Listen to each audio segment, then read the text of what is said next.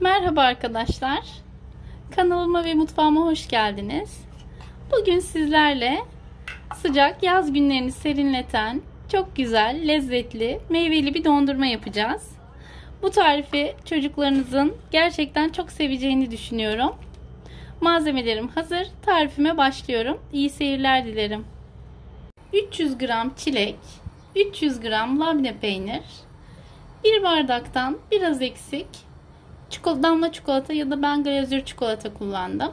Ve aynı şekilde bir parmaktan bir parmak eksik pudra şekerim var.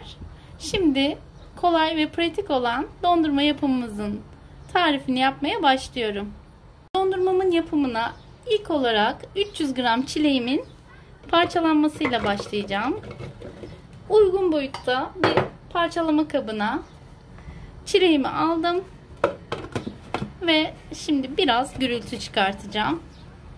Çilekler tamamen parçalanıncaya kadar karıştırma kabımda çileklerimi parçalayacağım.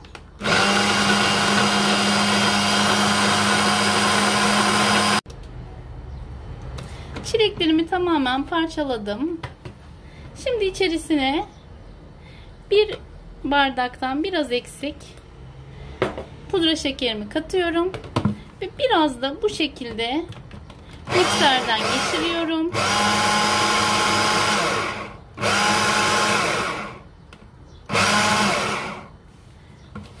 Tamamen birkaç defa içirdikten sonrasında istediğimiz kıvamı almış oluyor. Gördüğünüz gibi çileklerim tamamen parçalandı.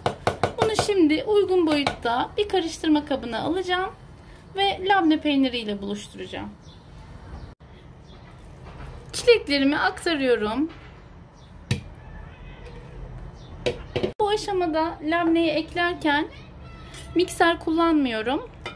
Ee, daha önce denemedim ama e, mikserin labne peynirimi daha çok yumuşatacağını ve e, dondurmamın çok cıvık olacağını düşünüyorum. Bu sebeple mikserle karıştırmayı daha uygun buluyorum. Çilekler ve labne peyniri tamamen karışıncaya kadar içerisinde hiç peynirin pütürcükleri kalmayıncaya kadar bu şekilde tel çırpıcıyla güzelce birkaç dakika kadar çırpıyoruz. Meyveli yoğurt kıvamına geldi görüyorsunuz. Hala biraz pütür var. Bu sebeple biraz daha böyle hızlı çırparak karıştırma işlemi devam ettiriyorum. Gördüğünüz gibi hakikaten çok güzel tatlı bir rengi oldu dondurmamızın. En son aşamada da yine tel çırpıcıyla karıştırarak bu şekilde granül çikolatalarımı ekliyorum ben. İsterseniz damla çikolatayla da olur. Bu esnada yalnız e, kesinlikle mikser kullanmayın. Çünkü çikolatalarımız parçalanacaktır. Bu şekilde olursa Dondurmamızı yerken ağzımıza çıtır çıtır çikolataların lezzeti gelecek ve yerken daha güzel bir his olacak. Evet dondurmam bitti. Şimdi dondurma kalıplarıma koyacağım ve birkaç saat donmasını bekleyeceğim. Bu akşam çocuklar çok sevinecekler. Dondurmamı bu şekilde bir paylaştırma kabına aldım. Dondurma kalıplarımı hazırladım. Ve e, bir kısmını da şu şekilde küçük mini e, cupcake kalıplarına koyacağım. Biliyorsunuz e, waffle yapacağımız için çilekli dondurmalarımızı waffle'ımızın üzerine yerleştireceğiz. Muhteşem bir lezzet olacağına eminim. Yavaş yavaş dondurmamı kalıplarıma paylaştırıyorum. Görüyorsunuz gerçekten çok güzel bir görüntüsü var. Eminim tadı da çok güzel olacak.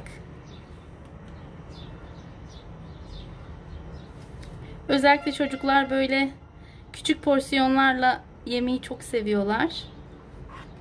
Bizim için de waffle'ın üzerinde olacak dondurmamız.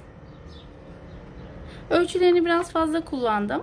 Siz isterseniz 200 grama 200 gram şeklinde de yapabilirsiniz. Kalıplarım doldu.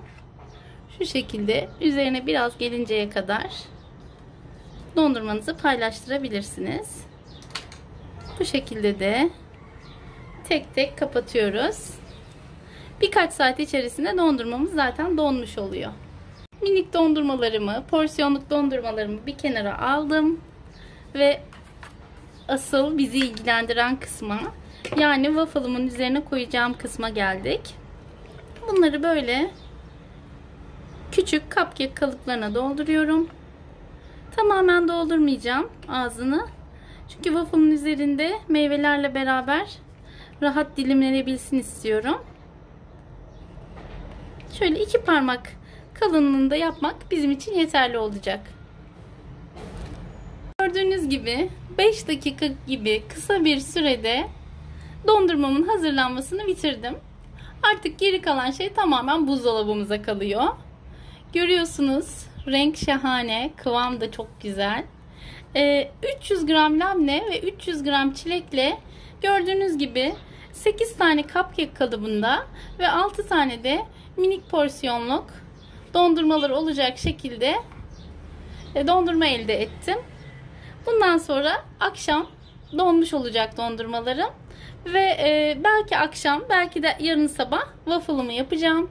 Bu muhteşem dondurmalarla güzel meyveli bir waffle keyfi yapacağız. Yazın serin serin harika olacak. Takipte kalın. Beni izlemeye devam edin. Bir gün sonra yeniden merhaba arkadaşlar. E, dün saymış olduğum dondurmaları hatırlıyorsunuzdur. E, bu cupcake kalıbındaki dondurmalardan tam e, 8 tane vardı ve şunlar tabii ki tamamen doluydu.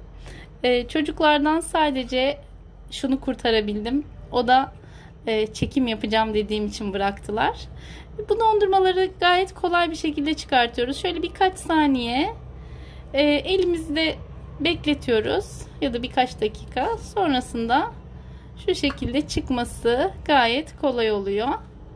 Bakın kıvam olarak da gerçekten çok güzel. Dediğim gibi ertesi güne kalan dondurmalar bunlar. Size çok güzel diye övmeme gerek yok sanırım. Görüyorsunuz. Bunlar da e, yine çok kolay bir şekilde çıktı e, kalıplarından. Aynı böyle dondurma e, dondurmamızı aynı e, kek açar gibi açıyoruz ve bu şekilde çok kolayca çıkıyor. Ben bunlarla normalde waffle yapmayı planlıyordum ama hem dondurmam çok az kaldı hem de çocuklar bu şekilde yemeyi istediler. O yüzden böyle e, hafif eridiği zaman emerek, ısırarak falan yaz günlerinde çok güzel serin bir şekilde yiyorlar. Sizler de çocuklarınızı bu kolay tarifle sevindirebilirsiniz. E, mutlaka deneyin diye tavsiye ediyorum. Şunu tekrar size göstermek istiyorum. Tarifimi beğendiyseniz beğen tuşuna basmayı ve hala kanalıma abone değilseniz abone olmayı unutmayın. Sevgiler.